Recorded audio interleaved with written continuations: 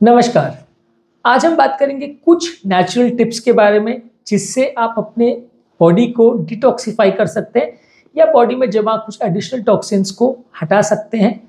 Normally हमारे body में multiple detoxification systems होते हैं, जैसे कि liver kidney skin lungs intestine ये पाँच डिटॉक्सिफिकेशन अपने यहाँ पे बॉडी में इंट्रेंसिक सिस्टम्स होते हैं, जो हर तरह के टॉक्सिन्स जो भी बॉडी में इकट्ठा होते हैं जिस भी तरह की चीज़ों को ये हटा सकते हैं, उनको ये हटा देते हैं।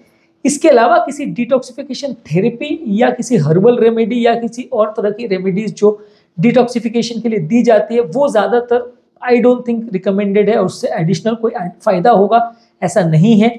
अगर हमारे इंट्रेंसिक बॉडी के सिस्टम पाँचों काम कर रहे हैं अच्छे से तो बाहर की किसी थेरेपी की ज़रूरत नहीं है।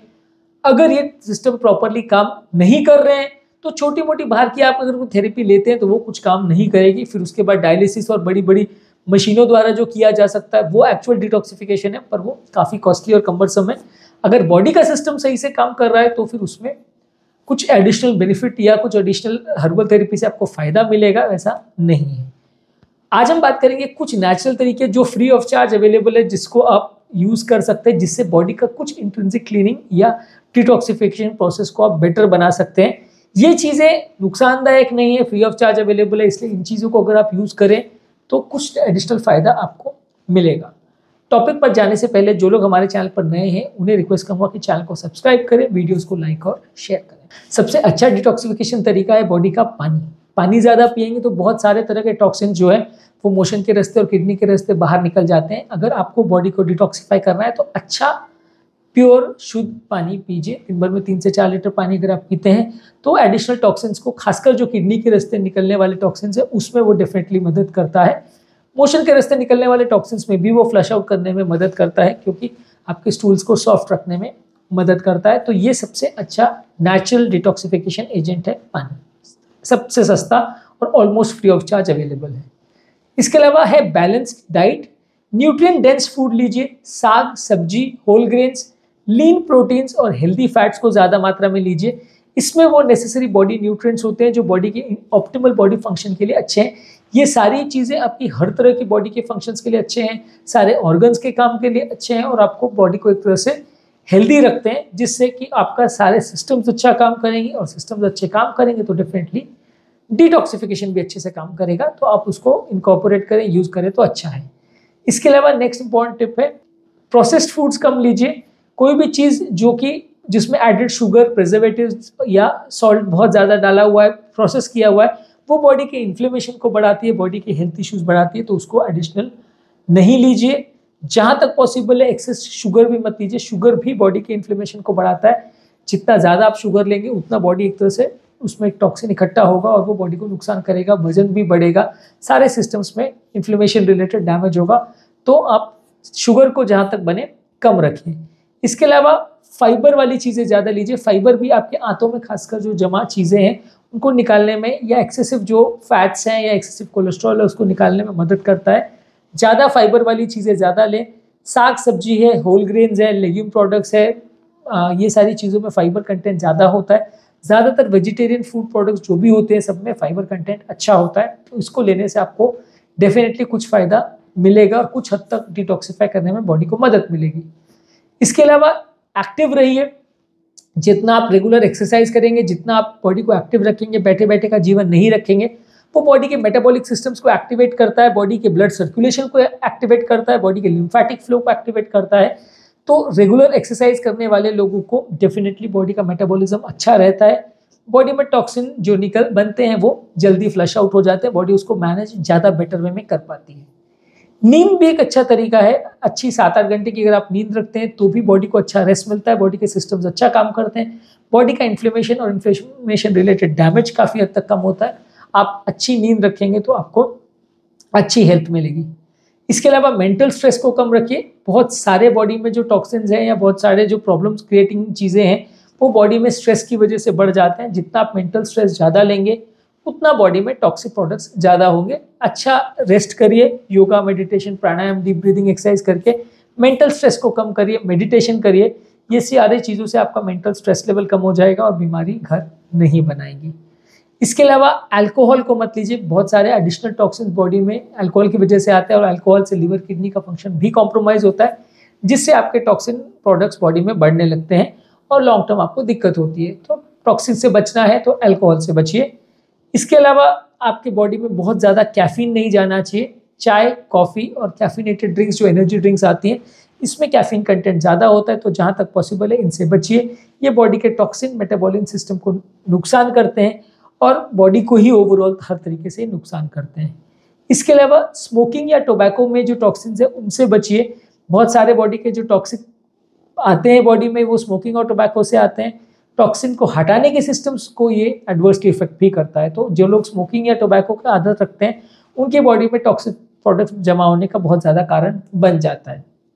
इसके अलावा, अगर आपको हर्बल प्रोडक्ट्स वगैरह पे विश्वास है तो कुछ हर्बल प्रोडक्ट्स आते हैं। इसमें सबसे इजीली अवेलेबल है गार्लिक यानी लहसुन जिंजर यानी अदरक और टर्मरिक यानी हल्दी, इसमें एंटी इन्फ्लेमेटरी प्रॉपर्टीज़ होते हैं और कुछ डिटॉक्सिफिकेशन प्रॉपर्टीज़ होते हैं।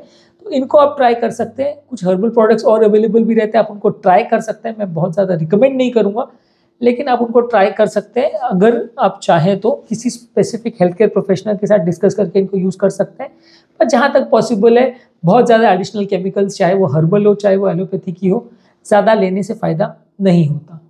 नेक्स्ट है कि माइंडफुल ईटिंग करिए, खाना खाते समय भी आप ध्यान रखिए, ध्यान सारा खाने पर फोकस करिए प्रेजेंट पर फोकस करिए। क्या आप खा रहे हैं, कितना आप खा रहे हैं, किस तरह की चीज़ें खा रहे हैं बैलेंस्ड खाना खा रहे हैं कि अनबैलेंस्ड खाना खा रहे हैं, इन सारी चीज़ों पर फोकस करेंगे तो थोड़ा आपको बेटर रिज़ल्ट मिलेगा। आपका खाने के माध्यम से जो बॉडी के टॉक्सिक प्रोडक्ट्स बॉडी में चले जाते हैं, उस पर आप अंकुश रख सकेंगे। बहुत ज़्यादा ऑयली स्पाइसी जंक फ़ूड आप नहीं खाएँगे अगर आप प्रॉपर ध्यान दे के खाना खाते हैं अनकंट्रोल वे में अनप्लान वे में, बिना ध्यान दिए जो लोग खाना खाते हैं, उनके बॉडी में टॉक्सिन्स बढ़ ही जाते हैं।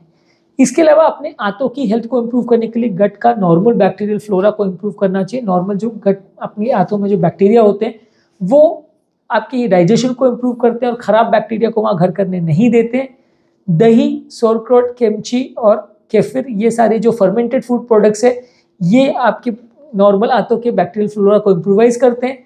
इसके अलावा अनियन, गार्लिक, यानी प्याज और लहसुन अस्पैरेगस और केला, ये आपकी नॉर्मल बैक्टीरियल फ्लोरा को नरिश करते हैं, उनको नॉर्मल पोषण देते हैं। तो ये भी आपके बैक्टीरियल फ्लोरा के लिए अच्छे हैं। इसके वजह से आपका इंटेस्टाइन का काम अच्छा होगा और आपका ओवरऑल आंतों से जो डिटॉक्सिफिकेशन होना है या जो गट के द्वारा डिटॉक्सिफिकेशन होना है, वो इम्प्रोवाइज होगा। इसके अलावा कुछ एनवायरमेंटल टॉक्सिन के एक्सपोजर से खुद को बचाइए। जो एरिया में पोल्यूशन बहुत ज़्यादा है, जो एरिया में रेडिएशन बहुत ज़्यादा है, जो एरिया में अब नॉर्मल चीज़ें ज़्यादा केमिकल्स वगैरह ज़्यादा है, वहाँ पर जाना अवॉइड कीजिए। उस तरह के वातावरण से खुद को बचाइए। बहुत ज़्यादा गर्मी, ठंडी के एक्सपोजर से भी खुद को बचाइए। मेंटल रिलैक्सेशन टेक्निक कर सकते हैं, जैसे योगा मेडिटेशन नेचर में टाइम स्पेंड करना डांस करना म्यूज़िक सुनना, ये सारी चीज़ें आपकी एक तरह से बॉडी को शांत करती है स्ट्रेस हॉर्मोन्स को कम करती है। बॉडी में टॉक्सिन जो है, उसको कम करती है और ओवरऑल आपकी सारी एक्टिविटीज़ या मेटाबॉलिज्म इंप्रोवाइज होती है। जिससे आपका सिस्टम प्रॉपर काम करता है बॉडी का इन्फ्लेमेशन कम होता है। रेगुलर हेल्थ चेकअप्स करिए एटलीस्ट साल में एक से दो बार ब्लड चेकअप और इम्पोर्टेंट टेस्ट जो हैं, जैसे इको ट्रेडमिल एक्सरेज हैं सोनोग्राफी वगैरह, ये साल या दो साल में एटलीस्ट एक बार करना चाहिए। इससे अगर कोई बॉडी में प्रॉब्लम या कोई बीमारी डेवलप हो रही है तो आपको जल्दी पता चल जाएगा, जिसको मैनेज करना थोड़ा ईजी रहेगा।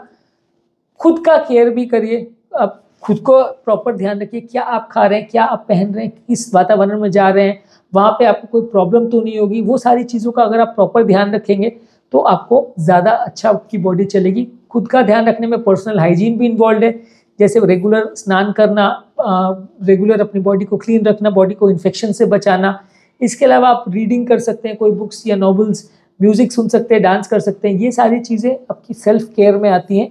जितना आप ये सब चीज़ों को करेंगे, उतना आपका प्योरीफाइड रहेगा और उतना आपको अननेचुरल ऑक्सीजन या इस तरह की अलग अलग रेमेडीज़ के लिए नहीं जाना पड़ेगा।